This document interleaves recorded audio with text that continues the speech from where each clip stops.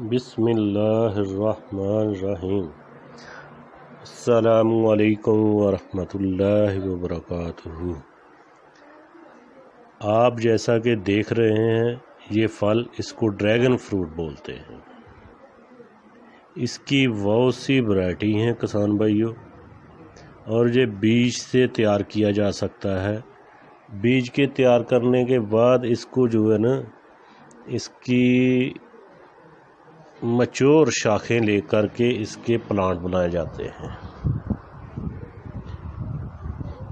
तो हमारे पाकिस्तान में अभी तक ये काश्त नहीं किया गया। हमारे पड़ोस में, इंडिया में ये बहुत ज़्यादा काश्त हो रहा है। यानी कि हमारे साथ में पंजाब का एरिया, इंडिया का, पंजाब में भी काश्त हो रहा है। जैसे कि क्या नाम है?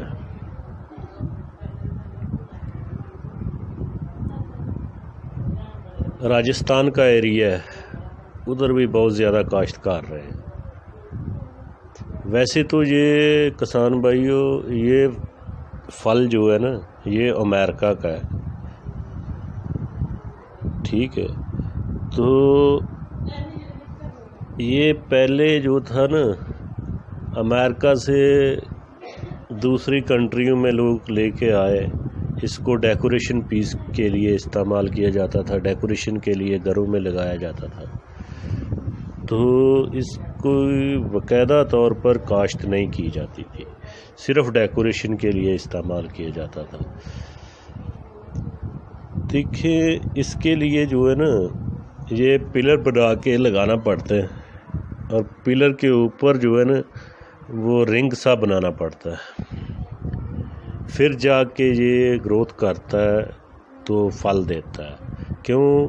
ये कैक्टस की एक वैरायटी है। कैक्टस की, यानी कि इसके उसी नस्ल से है। कैक्टस की नस्ल से ये ड्रैगन फ्रूट है। एक ही नस्ल के हैं ये दोनों। पौधे। तो हमारे पाकिस्तान में भी ये काश किया जा सकता है। जैसा कि इंडिया के राजस्थान में अगर काश्त हो सकता है तो हमारे पाकिस्तान में क्यों नहीं? इंडिया के पंजाब में अगर इससे फ़ायदा लिया जा सकता है तो हमारे पंजाब में क्यों नहीं? क्यों हमारी और इंडिया की ज़मीन सेम है? एक जैसी ज़मीन है हमारी तो हमें भी चाहिए कि इससे भरपूर तरीके से फ़ायदा लिया जाए। इसका प्लांट जो है तकरीबन 20 साल तक फल देता है। इस इस पे तकरीबन तकरीबन एक एकड़ पे साढ़े चार सौ प्लांट, साढ़े चार सौ पिलर लगेंगे। एक पिलर के चारों तरफ़ एक एक प्लांट लगेगा इसका। यानी कि तकरीबन तकरीबन साढ़े चार सौ पिलर में से सालाना जो फ्रूट है ना तो तकरीबन दस से बारह टन आएगा। इसके फ्रूट की जो वैल्यू है, रेट है, वो हमारे तो पाकिस्तान में मिलता भी नहीं है।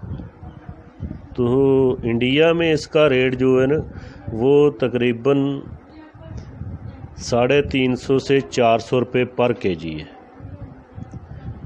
तो इंडिया अपना बना, लगा रहा है, अपना अभी बहुत ज़्यादा प्रॉफिट ले रहा है। इंडिया बहुत बड़ा कंट्री है, इंडिया में ये बहुत ज़्यादा पैदा किया जा रहा है। तो हमारे साथ में इसकी सरहद है, हमारी और उसकी ज़मीन एक जैसी है। तो हमारे पाकिस्तान में ये बसानी पाया जाता है लगाया जा सकता है। इससे बहुत सा प्रॉफिट लिया जा सकता है। हमें, हमारे भी किसानों को चाहिए कि इसकी काश्त की जाए। हम इंशाल्लाह हर तरह की हेल्प करेंगे, इसके बीज का भी कोशिश करेंगे और इसके पौधे भी इंशाल्लाह कोशिश करेंगे आपको जो है ना मंगवा कर दिए जाएँ। हाई ब्रेड इंशाल्लाह मंगवाएँगे। इसमें डेढ़ सौ के करीब जो है ना, डेढ़ सौ के करीब इसकी वैरायटी है। इसमें रेड है, पल, पर्पल है अपना और भी बहुत से कलर हैं। यानी कि पिंक है, बहुत से कलर हैं इसमें। तो सबसे अच्छी वैरायटी जो है ना रेड रेड और पर्पल पर ये दोनों वैरायटी जो है ना, बहुत अच्छी है। ये कैंसर के मरीज़ों के लिए बहुत अच्छा है। इसका फ्रूट बहुत ही बेनिफिट कैंसर कैंसर के मरीज़ों को बहुत बेनिफिट देता है। ये खून की कमी को पूरा करता है। तो हमारे फार्मर इसको काश्त करें। इसको इतना मुश्किल नहीं है काश्त करना। अगर कैक्टस एक जंगली पौधा है, कैक्टस, वो जंगली पौधा हमारे यहाँ हो सकता है। बहुत सा जंगली कैक्टस जो है हमारे तो अगर वो हो सकता है तो ये क्यों नहीं हो सकता भाई? ये भी हो सकता है, बहुत से बेनिफिट देता है ये। इसका फल जो है ना, तकरीबन तकरीबन 300 ग्राम से लेकर 800 ग्राम तक होता है। तो जितनी अच्छी आप इसकी हिफाजत करेंगे, उतना अच्छा फल देगा। इसको कोशिश करें, नीचे देसी खाद ही इस्तेमाल करें, ना कि यूरिया वगैरह। देसी खाद जो है गोबर की खाद, वो इस्तेमाल करें तो ज़्यादा फ़ायदा देगा। तो इसके बीच में और भी फ़सलें काश्त की जा सकती हैं।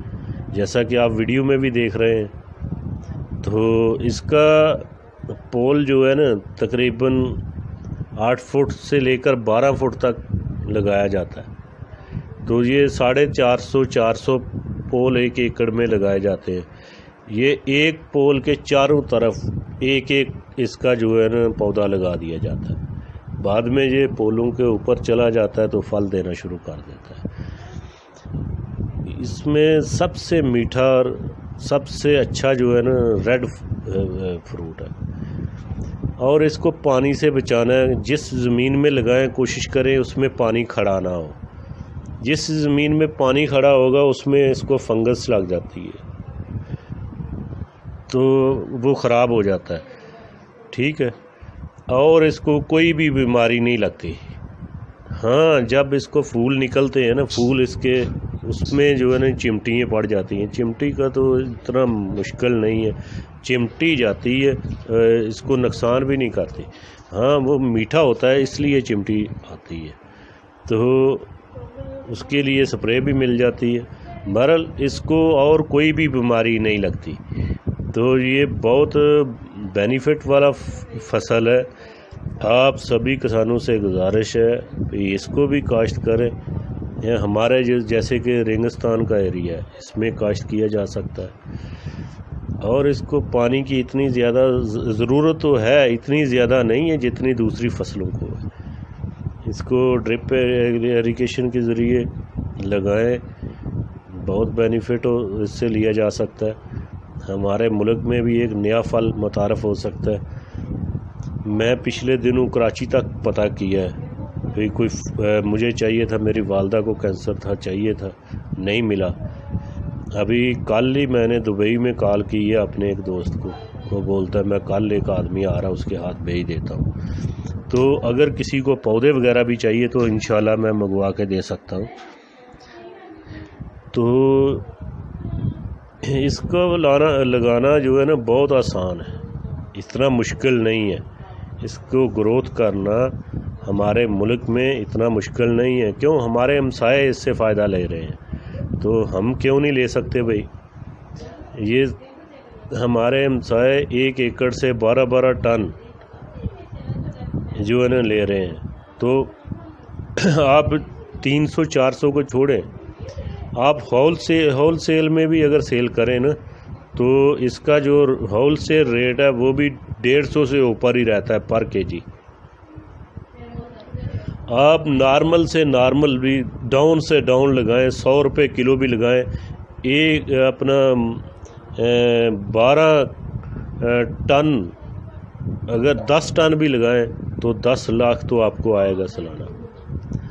दस टन कोई भी फ़सल नहीं देती दस लाख। दस लाख कोई भी फ़सल नहीं देती सालाना। हाँ इसका स्टार्ट में ख़र्चा ज़्यादा है। क्यों? आपने पिलर लगाने हैं छः से सात लाख रुपया आपका ख़र्चा आएगा एक एकड़ में। तो बकाया तो बीस, पच्चीस साल तक आपने प्रॉफिट ही लेनी है। वीडियो पसंद आने की सूरत में इसको लाइक करें शेयर करें चैनल को सब्सक्राइब करें और वीडियो को लास्ट तक देखा करें ताकि कोई मालूम ना रह जाए। शुक्रिया, अपना बहुत सा ख्याल रखिएगा, दुआओं में याद रखिएगा। फ़ी अमान अल्लाह हाफिज़। अल्लाह हामी नासर हो